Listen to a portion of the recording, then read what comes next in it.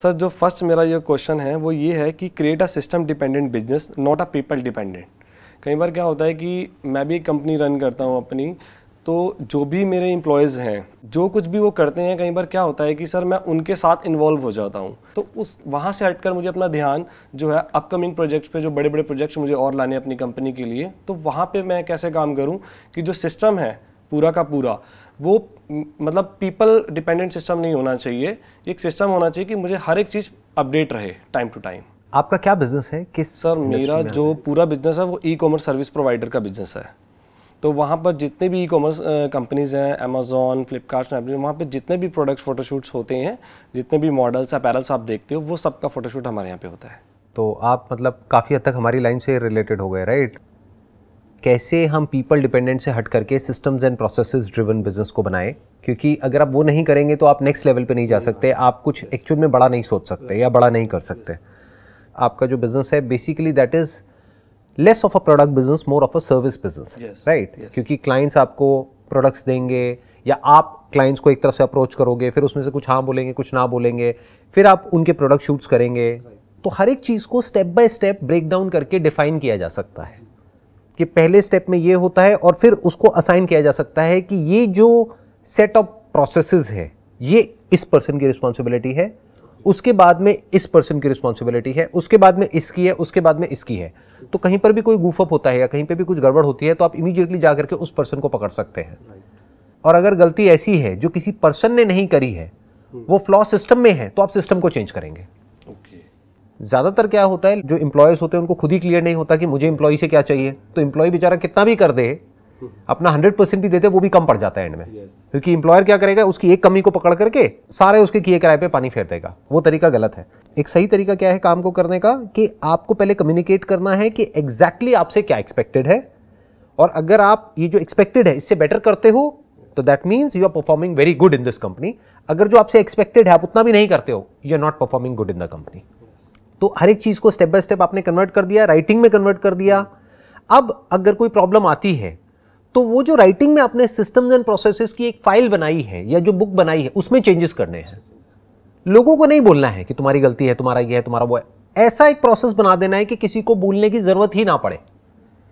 जैसे मैंने देखा है, यहाँ पे एक बड़ा, एक कॉमन एक कल्चर देखा है इंडिया में। यहाँ पे क्या होता है कि जब कोई लेट आता है ऑफ़िस में तो जो सीनियर हैं या जो बॉस है वो आकर के उसको बोलते हैं क्या हो गया? आज लेट क्यों आए? आज फिर लेट आ गए? ये वो ये बड़ा ही बेवकूफ़ों वाला तरीका है काम को करने का।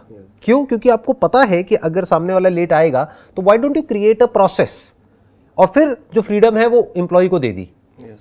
कि भाई आप महीने में दो बार इतना लेट आ सकते हो और तीसरी बार आप इतना लेट आ सकते हो। मानो दो बार आप दस मिनट तक लेट आ सकते हो तीसरी बार आप आधा घंटे तक लेट आ सकते हो। चौथी बार आप दो घंटे तक लेट आ सकते हो। अगर उससे ज़्यादा आप लेट आते हो तो इतना पैसा आपका कटेगा, जिससे आपको भी प्रॉब्लम ना हो और कंपनी को भी प्रॉब्लम ना हो। It has to be a win win situation तभी वो कंपनी ग्रो करेगी। Right right. कई बार क्या होता है कि work on your business not in your business कई बार जो मैंने अभी आपको बताया कि मैं उनके साथ इन्वॉल्व हो जाता हूँ और जो चीज़ें मैं करना चाहता हूँ आगे, उसमें नहीं कर पाता हूँ। मैं उसी के अंदर इन्वॉल्व रहता हूँ तो मैं चाहता हूँ कि बिल्कुल हट कर मैं कुछ सोच सकूँ, उसका जवाब अपने वैसे मेरे को दे ही दिया सर। इसमें एक और बात आप ध्यान रखिए एक बहुत बड़ा ट्रैप होता है जहाँ पर जा करके हर ऑन्टरप्रेन्योर फंसता है। मैं भी फंसा हूँ पास्ट में। Okay. वो क्या होता है कि हम हर काम को परफेक्शन से करना चाहते हैं। तो अगर फॉर एग्ज़ाम्पल कोई है जो एक पर्टिकुलर काम को कर रहा है या कर रही है तो आप क्या चाहेंगे कि वो बिल्कुल परफेक्ट होना चाहिए? उसमें कहीं कोई गलती नहीं होनी चाहिए। जैसे आप खुद करते हैं वैसे ही वो करें राइट तो as far as your supervising from a distance is concern that is okay but if you are getting involve in their day to day task then the problem is कि अब वो इनिशिएटिव लेना बंद कर देंगे। जब आप उनके सर पे खड़े हैं तब तो वो काम करेंगे। जब नहीं है तो काम नहीं करेंगे। तो it has to be again I am saying that कि वो बेसिकली बिल्कुल क्लियर होना चाहिए कि आज आपसे क्या एक्सपेक्टेड है। इस वीक में आपसे क्या एक्सपेक्टेड है। अगले एक साल में आपसे क्या एक्सपेक्टेड है। That must be very very clear to you and to them ताकि उनको क्लियर पता हो कि अच्छा काम मतलब क्या और बुरा काम मतलब क्या। ताकि फ्यूचर में अगर आपको किसी को निकालना भी पड़े अपनी कंपनी से तो you must give a proper reason a proper explanation कि बेसिकली ये प्रॉब्लम थी जो यहाँ पर ये लिखा हुआ था इसकी वजह से हमको एक्शन लेना पड़ रहा है। कई बार एक्शंस लेने पड़ते हैं। Yes. जैसे कुछ चीज़ें हैं जिसको आप टॉलरेट नहीं कर सकते अपनी कंपनी में। अगर उसको आप टॉलरेट करते हैं तो क्या होगा? पूरा का पूरा सिस्टम ही खराब हो जाएगा। जैसे बोलते हैं ना एक मछली पूरे तालाब को गंदा कर देती है। जी जी फॉर एग्ज़ाम्पल कोई है आपकी कंपनी में जो फीमेल से ढंग से बिहेव नहीं कर रहा है। तो वहाँ पे कोई कॉम्प्रोमाइज नहीं होना चाहिए।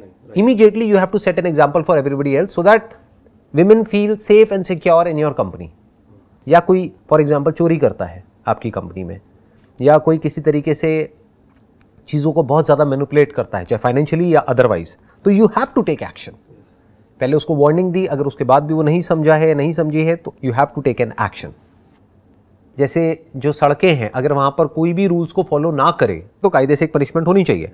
अगर कोई रूल्स ही ना हो, या रूल्स तो हो नाम के लिए बट उसको कोई सुपरवाइज ना करे, या कोई मॉनिटर ना करे तो गन मच जाएगा। तो there must be rules and there must be proper governance in order to check कि उन रूल्स के अकॉर्डिंग काम हो रहा है नहीं हो रहा है। अगर रूल्स से एम्प्लॉयज़ को प्रॉब्लम है तो सुनो, समझो और रूल्स को चेंज करो। But once they say this is fine then they have to follow those rules sir, कई बार क्या होता है कि जैसे कि आप बता रहे हो कि मैं कई बार ये सोचता हूँ कि हम कभी भी बाहर होते हैं, जैसे हम किसी वेकेशन पे चले जाते हैं, कभी हम परेशान होते हैं तो एम्प्लॉयज़ के साथ तो नहीं वो कर सकते, हम कहीं बाहर चले जाते हैं, जिससे मूड वगैरह फ्रेश हो जाता है। तो उस केस में क्या हम एचआर या कोई सीनियर्स को वो पावर दे सकते हैं डिसीजंस की कि बाद में ऐसा ना लगे हमें कि यार अगर मैंने उसको बोला कि अगर आप कोई डिसीज़न ले रहे हो तो आप सोच समझ के लेना। अगर मैं बाहर हूँ मेरा फ़ोन स्विच ऑफ़ है तो आप डिसीज़न ले लेना। कई बार सिचुएशन ऐसी होती है कोई क्लाइंट है या कुछ भी है तो बाद में जब मैं आऊँ और मुझे ऐसा नहीं लगना चाहिए कि यार ये आपने गलत कर लिया तो उस केस में क्या करना चाहिए? कोई भी डिसीजंस जो भी लेने हैं उसका एक FAQ बनाते चले जाओ। अच्छा। बेसिकली जो भी प्रॉब्लम्स आती है ना एक पर्टिकुलर बिज़नेस में आपका जो बिज़नेस है जी। उसमें अगर आप ध्यान से ऑब्ज़र्व करेंगे तो जो प्रॉब्लम्स होती हैं वो गिनी चुनी आठ दस ही होती है। वही बार बार आ रही होती है। तो अगर आपको बिज़नेस करते हुए मानो पाँच साल हो गए हैं तो आपको पहले ही पता है कि वो पाँच दस प्रॉब्लम्स क्या हैं। अब प्रॉब्लम क्या होती है हम अपने हाथ में कंट्रोल रखना चाहते हैं। हम चाहते हैं कि कुछ भी हो मेरे से पूछ करके करो। वो होना ही नहीं चाहिए। तभी तो सिस्टम ड्रिवन होगा कि चाहे बड़ा डिसीज़न है चाहे छोटा डिसीज़न है अगर ये हुआ तो ये होना है। फिर चाहे मैं हूँ चाहे आप हो। तो उससे क्या आपके ऊपर भी प्रेशर नहीं आएगा? बार बार आपको भी नहीं सोचना पड़ेगा। राइट राइट कि अगर फॉर एग्ज़ाम्पल कोई क्लाइंट आता है और वो बोलता है कि ये चाहिए मुझे या मैं ये चाहता हूँ तो आपको पहले ही क्लियर होना चाहिए अपने माइंड में कि ये हमें करना है या नहीं करना है। Okay okay. ये हमारी विजन में फिट होता है या नहीं होता है? अगर नहीं होता है तो आपने इमीडिएटली उसको मना कर दिया। उनको आपसे पूछने की ज़रूरत नहीं है चाहे कितना भी लॉस हो जाए बिज़नेस में। Okay that you need to define it वो तो खुद ही डिफाइन करना पड़ेगा। नहीं तो अगर वो बार बार आपसे पूछने लगे तो आप भी पागल हो जाओगे। हम भी पागल हो जाएँगे। और प्लस जो इंप्लॉयज हैं वो कंफ्यूज हो जाएँगे। वो कहेंगे कभी ये ये बोलते हैं कभी वो वो बोलते हैं। चक्कर क्या है? अब हम क्या करें? तो वो क्या करेंगे? वो अपना दिमाग लगाना बंद कर देंगे। दूसरा उनका आपके ऊपर ट्रस्ट कम हो जाएगा क्योंकि वो कहेंगे कि यार ये अपनी बात के पक्के नहीं है। ये बार बार बार बार बात को चेंज करते हैं। कभी तो कहते हैं ये नहीं करना है। फिर खुद ही हाँ बोल देते हैं। जब बड़ा ऑर्डर आ जाता है यानी लालच ज़्यादा है तो हाँ। और अगर लालच कम है तो ना। ये क्या बात हुई? Right? That has to be very clear whether it is aligned with the values of your company or it is not. If it is not, it has to be a for example हमारी company में जैसे आप basically क्या करते हो? आप customise shoots करते हो। हमारी कंपनी में हम कस्टमाइज नहीं करते हैं। तो अगर कोई क्लाइंट हमारे पास में आएगा और वो कहेगा कि भाई हमारा बजट है बीस लाख रुपए का, पचास लाख रुपए का, एक करोड़ रुपए का, लेकिन आप ये कस्टमाइज शूट कर दो। तो अब चाहे वो मेरे से पूछे चाहे हमारी कंपनी के किसी और एम्प्लॉय से पूछे चाहे वो जूनियर है चाहे सीनियर है ना है तो ना है। ये क्लियर है। तो कोई कंफ्यूजन ही नहीं है। उनको मेरे से पूछने की ज़रूरत ही नहीं है। ये राइटिंग में उनके पास में है। सर मैं ये पूछना चाहता हूँ कि अगर अब जैसे कि मैं अपना दूसरा एक बिज़नेस स्टार्ट करना चाहता हूँ जैसे कि मैं अपनी एक नई फर्म स्टार्ट करना चाहता हूँ या वो इसी काम से रिलेटेड हो या वो कोई रेस्टोरेंट हो या कोई अदर स्टूडियो हो तो मैं अपने टाइम को मैनेज कैसे करूँ उस केस में? टाइम को मैनेज करने का जो तरीका होता है ना वो ये है कि आपको और लोग चाहिए जो आपसे बेटर हो उस काम को करने में। एक्चुअल में ऑन्टरप्रीनोरशिप का मतलब यही है। You need to create a team which is much better than you you need to empower people in such a way कि वो बेसिकली एक छोटे से एस्पेक्ट में स्पेशलाइज हो जाए और वो आपसे लाख गुना बेटर हो जाए। Yes. और उन सबको मिला करके जो बनेगा ना वो आप सपने में भी ना सोच सके करने का।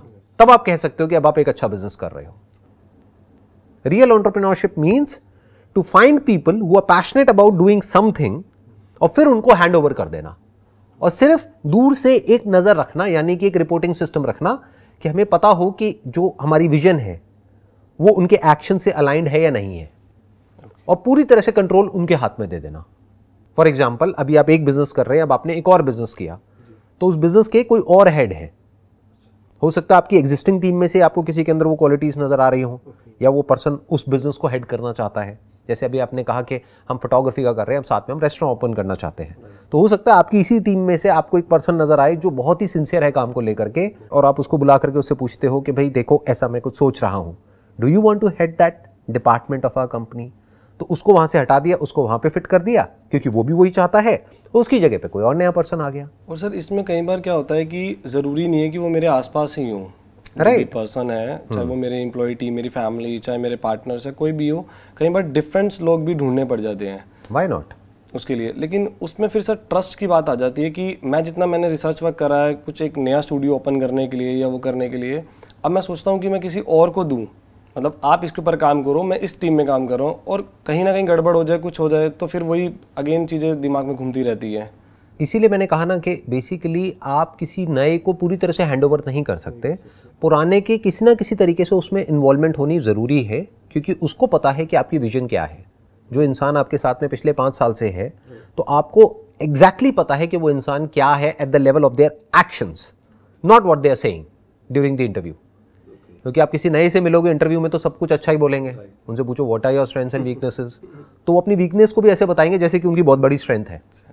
My weakness is that I am a workaholic that I am a perfectionist. अच्छा ये वीकनेस है। तो इस चीज़ को ध्यान में रखना है कि इसको नहीं देखना है कि वो बोल क्या रहे हैं। इसको देखना है कि वो कर क्या रहे हैं। एक्चुअल में उनकी लीडरशिप क्वालिटीज अच्छी हैं या नहीं है? एक्चुअल में वो टीम प्लेयर हैं या नहीं है? इसीलिए मैं कह रहा हूँ कि ये जो टीम बनती है ना धीरे धीरे ज़्यादातर बिजनेसेस को ऐसे ही बड़ा किया जाता है। अगर वहाँ पे एक नया सीईओ भी अपॉइंट किया जाता है किसी दूसरे बिज़नेस में तो पुराने में से किसी ना किसी पर्सन को उसको असिस्ट करने के लिए वहाँ पर भेजा जाता है। So that you know what exactly is going on in that business on a day to day basis नहीं तो आपको पता कैसे लगेगा? कोई नया आदमी आया तो वो तो आपको कुछ पता ही नहीं है। उसकी और आपकी विजन तो अलाइंड ही नहीं है। वो अलाइन होने में ही छः महीने साल लग जाएँगे। And there is a strong possibility कि हो सकता है वो बंदा जैसे तीन महीने का प्रोबेशन पीरियड होता है तो या तो वो खुद छोड़ के चला जाएगा या फिर आपको ही उसको बोलना पड़ेगा कि नहीं, हमारी विजन अलाइन नहीं हो रही। तो अब आप जाइए। तो अगर वो जाइए तो और कौन है वहाँ पर संभालने के लिए? तो that's what I am saying that you need to build a core team of people which is like a family तो उसी में से आगे डेलीगेट करना होता है और फिर बिज़नेस को एक्सपैंड करना होता है। दोनों में फ़र्क समझ आया? एक है अ पर्सन जिस पे आपको ट्रस्ट है और एक है वो पर्सन जो कैपेबल है। ज़रूरी नहीं है कि जिस पे आपको ट्रस्ट है वो कैपेबल भी हो। यस तो ये भी एक बहुत बड़ी गलती होती है जो कई बार ऑन्टरप्रीनर्स कर देते हैं। कि एक पर्सन है, वो कैपेबल तो है नहीं। उसको ले जा करके बिठा दिया, वहाँ पे हेड बना दिया। अब बाकी के लोग कह रहे हैं, कह रहे हैं किसको बिठाया हुआ है? इसको अकल तो है नहीं, ना इसको कुछ आइडिया है, इससे ज़्यादा तो हमको पता है। तो उसको अपने हेड नहीं बनाया। उसको असिस्ट करने के लिए वहाँ पर बिठा दिया बट हेड कोई और है, जो उस फ़ील्ड का एक्सपर्ट है। जैसे रेस्टोरेंट का बिज़नेस है तो हेड कौन है? जो शेफ है, जिसको दस साल का एक्सपीरियंस है। वो और शेफ्स को बताएगा ना कि वो क्या सही कर रहे हैं, क्या गलत कर रहे हैं। अब अपनी पुरानी टीम में से अपने कंफर्ट जोन की वजह से आपने कहा कि मेरे को इस पर बड़ा विश्वास है तुम हेड करो। अब वो जा करके उनको बता रहा है तुमने ये कर दिया वो वो कर दिया अब इसका टेस्ट अच्छा नहीं है वो कोई सुनेगा ही नहीं उसकी। वो कहेगा कौन है ये? क्यों क्यों मेरा सर खा रहा है ये? समझ गए? तो बंदे ही नहीं टिकेंगे तो लोग नहीं टिकेंगे आपके वहाँ पे कंपनी पे sir what is the source of your positive energy always I would call it positive energy I would call it a solution oriented approach कि बेसिकली ये पॉजिटिव एनर्जी जो वर्ड है ना ये मेरे को पर्सनली पसंद नहीं है। लोग जोड़ देते हैं मेरे नाम के साथ में मोटिवेशनल स्पीकर पॉजिटिव थिंकिंग अब लोग क्वेश्चन ही ऐसे पूछेंगे तो मेरे को जवाब भी वैसे ही देने पड़ेंगे ना। क्योंकि जैसे सामने से क्वेश्चन आएँगे मुझे उसी लेवल पर आकर के उनसे बात करनी पड़ेगी नहीं तो वो डिस्कनेक्ट हो जाएँगे। राइट तो अगर कोई पूछेगा how to be positive all the time how to be happy all the time तो मुझे शुरू तो वहीं से करना होगा। लेकिन अगर आप ध्यान से मेरे सेशंस को ऑब्ज़र्व करेंगे I always say look at reality as it is reality को समझो रियलिटी में अगर प्रॉब्लम है तो उसका सॉल्यूशन निकालो अगर प्रॉब्लम नहीं है तो उसको समझो। और जब समझ लेते हो तो वो प्रॉब्लम डिजोल्व हो जाती है। डिजोल्व हो जाएगी। और दूसरा क्या होता है कि हमें खुद अंदर से समझ आ जाता है कि अच्छा इसका आंसर ये है कि मेरा ये बिहेवियर है जिसकी वजह से प्रॉब्लम हो रही है तो let me change my behaviour not the other person behaviour that is one way of looking at it second is accepting the person as he और she is that is second third is कि अगर actual में problem है तो ये नहीं कि अपने मन में कुछ भी सोचे चले जा रहे हैं जा करके उसको बोला लड़ाई होती है होने दो। इससे ज़्यादा क्या होगा? डरना क्या है? डर डर के क्यों जीना है? या तो थोड़ी देर की होगी या हो सकता है परमानेंट ही हो जाए रिलेशनशिप खत्म हो जाए होने दो। जब होनी ही है एक साल बाद भी दस साल बाद भी तो अभी हो जाए ना। तो all I am saying is mind पे बैगेज रखने से अच्छा है कि बी सॉल्यूशन ओरिएंटेड कोई प्रॉब्लम है तो उससे भागो मत उसको पोस्टपोन मत करो। उसको सॉल्व करो, ताकि आपका जो माइंड है, वो फ्री रहे कुछ एक्चुअल में ढंग के काम करने के लिए। Sir how to use the brain properly brain को अपने गोल से रिलेटेड मतलब मेरे दिमाग में हमेशा मेरे गोल से रिलेटेड चीज़ रहनी चाहिए। जबकि मैंने आपके सेशन में भी देखा और मैंने जब आपके सेशन में बुक्स जो थी, मैंने उनको भी पढ़ा है कि आपके जो भी गोल्स हैं, वो आपके सामने ज़रूर होने चाहिए, जो कि मेरे ऑफ़िस में भी मेरे सामने हैं। लेकिन मैं चाहता हूँ कि वो हमेशा मेरे माइंड में रहनी चाहिए वो चीज़। मेरे माइंड में घूमते रहना चाहिए कि मुझे अब ये करना है या ऐसे करना है या वो करना है एंड ऑल देखो, इसको ध्यान से समझना। बेसिकली ये एक बहुत ही कॉम्प्लिकेटेड टॉपिक है। मैं इसको थोड़ा सा सिंप्लीफाई करने की कोशिश करूँगा ताकि ये आपको क्लियर हो पाए। आइडली आपका दिमाग गोल पर फोकस नहीं होना चाहिए काम पर होना चाहिए। दोनों में बड़ा फ़र्क है। गोल है जो आपको एक साल बाद या दो साल बाद या चार साल बाद अचीव करना है। काम क्या है? जो एक्चुअल में आज करना पड़ेगा अभी करना पड़ेगा डेली करना पड़ेगा अगले एक साल तक उसको अचीव करने के लिए। तो ध्यान कहाँ होना चाहिए? प्रेजेंट अभी इस मूवमेंट पे होना चाहिए। Goal back of the mind होना चाहिए सबकॉन्शियस में होना चाहिए।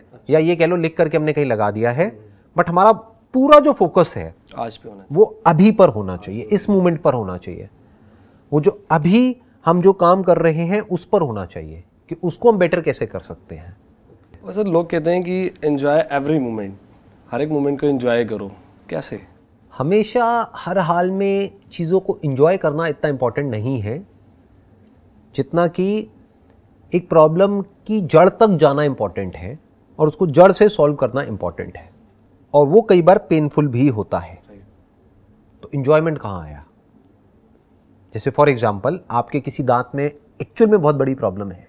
आपने जा करके एक डेंटिस्ट से डिस्कस किया, उन्होंने कहा कि भाई दांत को निकालना पड़ेगा और कोई ऑप्शन है ही नहीं। तो जब निकालोगे तो दर्द होगा ना। इंजेक्शन भी लगेगा और वो भी होगा और कुछ दिन तक प्रॉब्लम भी रहेगी। इन्फेक्शन ना हो उसके लिए एंटीबायोटिक्स भी खानी पड़ेगी। तो उसमें इंजॉय क्या है? पेन ही पेन है दर्द ही दर्द है। अगर आप एक्सरसाइज नहीं करते हो जिम ज्वाइन करोगे तो वहाँ पे इंजॉयमेंट कहाँ है? क्योंकि जिम एक्चुअल में तो बोरिंग ही है ना। बोरिंग ही है। उसमें इंजॉयमेंट क्या है? एक्सेप्शन आर ऑलवेज देयर कुछ लोग हैं जिनको मज़ा आता है जिम करने में। बट ऐसे बहुत कम है। उसमें मज़ा नहीं आता है। उसमें बेसिकली क्या होता है? दर्द होता है। और कई बार बहुत बोरिंग भी होता है। That boredom is also pain क्योंकि एक ही सेट को हम बार बार बार बार रिपीट कर रहे हैं और रिज़ल्ट आने में अभी एक साल बाकी है तो उसमें मज़ा कहाँ है? वो तो पेन है। या अपनी किसी पुरानी आदत को आप बदलने की कोशिश कर रहे हैं तो उसमें मज़ा कहाँ है? उसमें तो दर्द है। किसी की डेथ हो गई है, उसके बारे में आप सोच रहे हैं या वहाँ से बाहर निकलने की कोशिश कर रहे हैं, उसमें मज़ा कहाँ है? उसमें तो दर्द है। हम क्या बोलते हैं? दर्द नहीं होना चाहिए, मुझे तो मज़ा आना चाहिए। मज़ा नहीं आएगा उसमें। You have to accept it as a part of life as enjoyment is a part of life so is pain. As pleasure is a part of life, so is pain. But if that pain in the short term is giving you something big in the long term, तो you must choose that pain instead of enjoyment.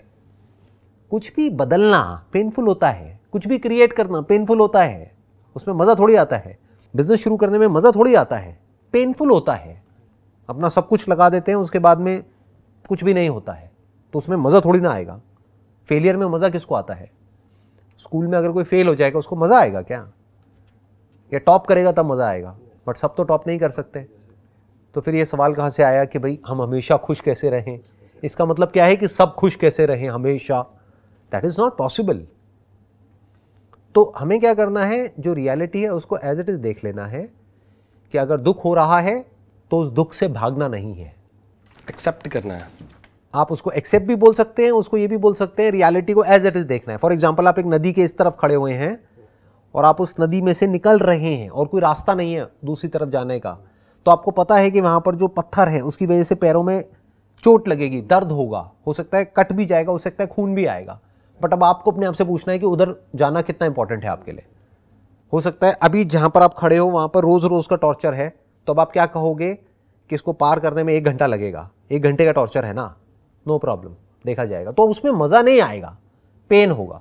But you have to go through that pain in order to achieve something meaningful in life many a times sir मैंने आपका एक seminar देखा था, जिसमें आपने एक books का नाम लिया था थिंक एंड ग्रो रिच उसमें सर मैंने भी सुना, मैंने भी पढ़ा, लेकिन उसमें वो कहते हैं कि आप जो भी स्टार्ट करना चाहते हो या जो भी आपका गोल है उससे रिलेटेड आपको पता होना चाहिए कि आप कितने टाइम में उसे अचीव करने वाले हो। एक अमाउंट होना चाहिए कि आपको एक फिक्स करना चाहिए कि आप जब वहाँ पहुँच जाओ तो आप पर डे या जो भी आपका पर मंथ है, आप इतना अर्न करो। तो मैं ये चीज़ आपसे पूछना चाहता हूँ कि जब आपने स्टार्ट करा था तो आपने ऐसा कुछ करा था? बिल्कुल भी नहीं। मैंने इनफैक्ट अर्निंग के बारे में कभी भी बहुत ज़्यादा नहीं सोचा। हाँ प्लान किया कि बिज़नेस लॉस मेकिंग नहीं होना चाहिए बट ऐसे मैंने कभी भी कोई गोल सेट नहीं करे कि मुझे इतना अर्न करना है उतना करना है क्योंकि इसमें प्रॉब्लम पता है क्या है? फंस जाएँगे। आप कितना भी सोच लो अगर एक्चुअल में आपका ध्यान काम पर होगा ना और आप कुछ एक्स्ट्रा ऑर्डनरी करोगे तो जो आप कमाओगे वो उससे बहुत ज़्यादा होगा जितना आप सोच रहे हो। Right right. ये बात बहुत लोगों के लिए डाइजेस्ट करना बड़ा मुश्किल है बट अगर मैं अपना एग्ज़ाम्पल दूँ तो जहाँ तक भी मैंने सोचा था मैं एक टाइम पे ये सोचता था कि अगर इतना हो गया तो बहुत है, मैं तो फिर उसके बाद में ना बस मज़े आ जाएँगे, ये हो जाएगा, वो हो जाएगा। तो जितना भी सोचता था, उससे आज बहुत आगे हूँ। तो अच्छा क्या हुआ कि मैंने फालतू की चीज़ें सोची ही नहीं, इसलिए इतना आगे हूँ। अगर मैं यही सोचता रहता कि मुझे यहाँ तक जाना है, वहाँ तक जाना है तो मेरी सोच एक लेवल पर जा करके रुक जाती। अभी मेरे माइंड में ना कुछ नंबर आ रहे हैं कि अगर मैं यहाँ तक सोचता था तो मैं मैक्सिमम यहाँ तक जा करके रुक जाता। लेकिन ये सारे बैरियर्स तोड़ करके आज मैं कहीं और ही हूँ। क्यों? क्योंकि मैंने कभी इसके बारे में सोचा ही नहीं कि क्या होगा कितना होगा। बस इशारे में ये बोल सकता हूँ जितना भी सोचा था उससे बहुत बड़ा मैं ऑलरेडी अचीव कर चुका हूँ। सर आपके पास हर एक प्रॉब्लम का सोल्यूशन है। अब जैसे कि मैं आया हूँ और और भी लोग क्यू एन ए में आते हैं आपके पास सबके जवाब हैं। तो वो कैसे सर? उसके पीछे एक रीज़न है ना कि जो भी आप मेरे से अभी क्वेश्चंस पूछ रहे हो वो सारे ऑन्टरप्रिनोरशिप से रिलेटेड है। अगर आप मेरे से कोई ऐसे क्वेश्चन पूछते जो मेरी लाइन से रिलेटेड नहीं है तो मैं बोल देता मेरे पास में जवाब नहीं है। अगर आप आ करके मेरे से अभी पूछते कि भाई ये एंट्रेंस है, उसको मुझे क्रैक करना है, मैं कैसे करूँ? तो मैं कहूँगा, मुझे नहीं पता। जा करके अपने प्रोफेसर से पूछो, अपने टीचर से पूछो, या ऐसे किसी इंसान से पूछो जिसने वो क्रैक कर लिया है। आप मेरे से अभी ऑन्टरप्रिनोरशिप के बारे में पूछ रहे हो? मुझे पता है। माइंड के बारे में पूछोगे? पता है। क्यों? क्योंकि माइंड तो है ना मेरे पास में। ऑन्टरप्रिनोरशिप मैंने करी है तो मुझे एक्सपीरियंस है प्रैक्टिकल रिलेशनशिप के बारे में पूछोगे? मुझे पता है I been in a relationship तो अगर आप किसी ऐसी चीज़ के बारे में पूछोगे जिससे रिलेटेड मेरे पास में फ़र्स्ट हैंड एक्सपीरियंस है, तब तो मैं बोलूँगा आपको कि मेरे पास में उसका आंसर है. बट अगर आप मेरे से कोई ऐसा क्वेश्चन पूछोगे जिसकी मेरे पास में हो सकता है थ्योरेटिकल नॉलेज तो है बट कंप्लीट नॉलेज नहीं है तो मैं इमीडिएटली वहाँ पे बोल दूँगा आपको कि मेरे पास में इसका आंसर नहीं है. सर मैं आपकी डेली रात को अफर्मेशन जो सुबह मॉर्निंग की अफर्मेशन होती हैं वो सुनता हूँ। जबकि वो आपने कहा था मैंने आपके सामने में सुना था वो आपने अपने लिए रिकॉर्ड करी थी। लेकिन वो भी मैं सुबह की भी मॉर्निंग में सुनता हूँ और शाम की भी मॉर्निंग में सुनता हूँ। ये लास्ट है। शाम की मॉर्निंग में सुनते हो? Sorry sorry so sorry so sorry जो सुबह की है वो मैं मॉर्निंग में सुनता हूँ और जो रात की आपकी सात मिनट कुछ सेकंड्स की है वो मैं रात को सोने से पहले मेडिटेशन के बाद वो सुनता हूँ। तो उसमें कुछ एक लाइनें हैं बस लास्ट इसको फिनिश करता हूँ। प्लीज़ आज का ये दिन मेरी आने वाली ज़िंदगी का पहला दिन है और मुझे पूरा यकीन है कि ये दिन मेरी ज़िंदगी के सबसे अच्छे दिनों में से एक होने वाला है। आज मैं बहुत खुश हूँ क्योंकि मुझे पूरा विश्वास है कि आज मैं कुछ ना कुछ ज़रूर ऐसा देखूँगा ऐसा सुनूँगा ऐसा महसूस करूँगा जो आज से पहले मैंने कभी नहीं किया होगा। और मेरा भी मानना यह है कि जो कुछ भी होता है वो सब अच्छे के लिए होता है। और सर मेरी जितनी भी थिंकिंग है मेरी जितनी भी मैंटेलिटी है जितना भी मैं इंस्पायर हुआ हूँ just because of you and my mom dad और इन फ्यूचर में भी मैं जो कुछ भी अचीव करूँगा सर वो just because of you sir thank you so much sir thank you so much it was my pleasure sir it was my pleasure thank you so much sir